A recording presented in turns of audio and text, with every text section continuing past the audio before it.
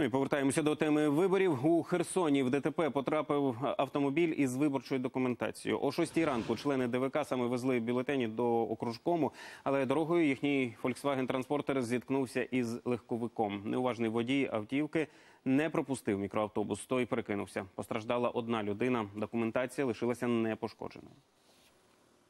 В результаті ДТП встановлено е, отримала незначні тілесні пошкодження працівник поліції, який знаходився у Volkswagen транспортер.